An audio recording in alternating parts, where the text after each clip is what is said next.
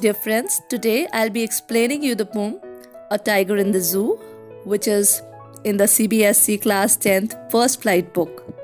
This poem is written by Leslie Norris, and uh, he is a renowned Welsh poet, and along with that, he is also a short story writer. This poem comprises of five stanzas. Each stanza consists of four lines. The rhyme scheme followed in all these stanzas is A B C B. The poem has two distinct settings First setting is of the zoo, where the tiger is kept in the cage, and the second setting is of the natural wild habitat of the tiger, where it actually belongs.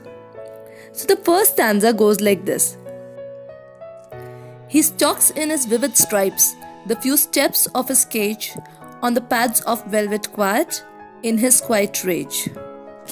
So the poet wants to say that the tiger that is confined in the zoo moves around in the cage under his bright colored skin. He further says that the tiger can take only a few steps because the cage is very small and it is not easy to move in it. One cannot hear the tiger's footsteps because he has very soft feet just like velvet. The paws are covered with velvet and that is why when the tiger walks, no sound of tiger's footstep can be heard. The tiger tries to control his anger by quietly walking in the limited area of his cage. He is angry because he is not free.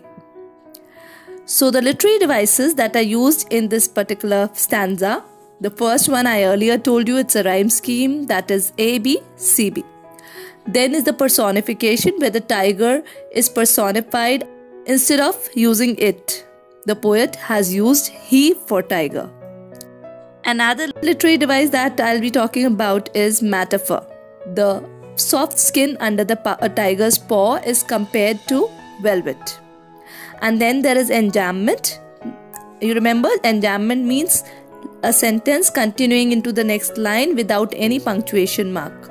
So you see the first line is enjambment because it is being continued in the second till the second line where there's a comma at the end then you have imagery where the poet is trying to create an image of the tiger. And uh, we can clearly visualize a tiger walking in vivid stripes. Consonance uh, when you read the sentence like stalks his stripes.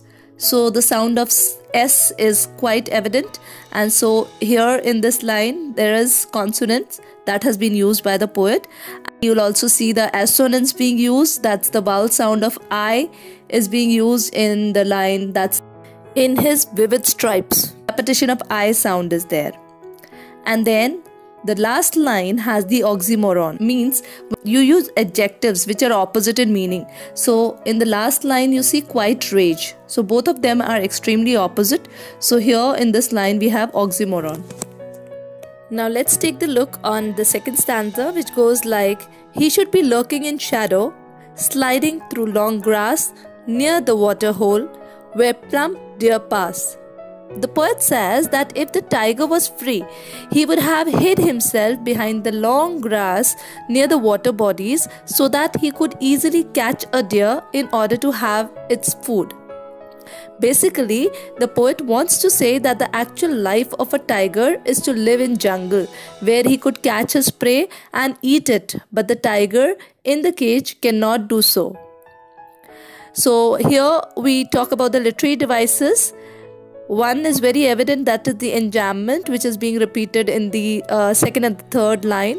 No uh, comma or punctuation mark is there in between these lines then we have the alliteration wherein uh, we talk about the plump pass. So the plump deer pass so the sound of p is being repeated here. So we have alliteration and then uh, again imagery is being used by the poet as to activities of tiger uh, lurking in shadows. So here we the uh, here the poet has used imagery. The third stanza goes like this he should be snarling around houses at the jungle's edge baring his white fangs, his claws, terrorizing the village. So the poet says that if the tiger would have been free, he would have snarled around the houses located at the outskirts of the forest. He would terrorize the people with his sharp tooth and claws. This would create fear among the people living in the village. Then we have enjambment where the line continues to the next line without punctuation mark and it is he should be snarling around houses at the jungle's edge. We also have onomatopoeia here using words which denote sound. Okay, so where do we hear or have the word onomatopoeia? It's in snarling. Then we have assonance where the sound of O and I is being repeated, the vowel sound. O is being repeated in the words like should around houses and I sound is being used in baring his white his.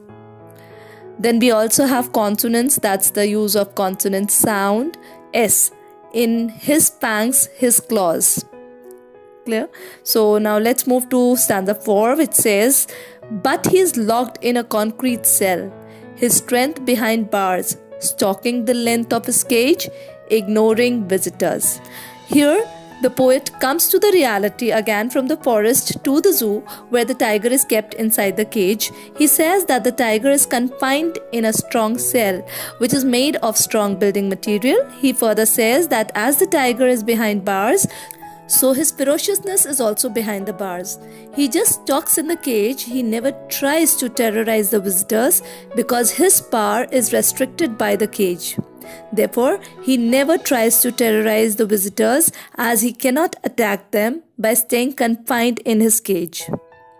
Here, the poet again, has used personification the tiger is personified because the, uh, the poet uses he in place of it here again, and assonance that's the use of vowel sound e.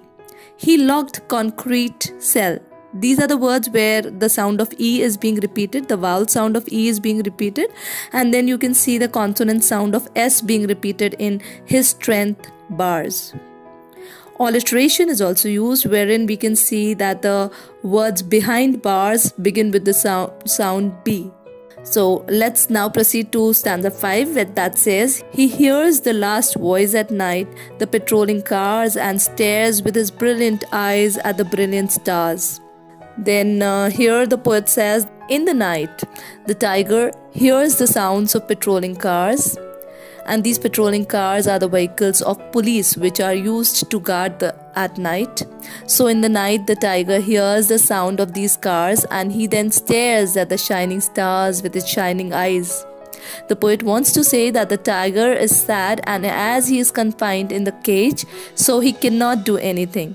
Therefore, he just sits and keeps staring at the stars in the night and tries to divert his thoughts towards them.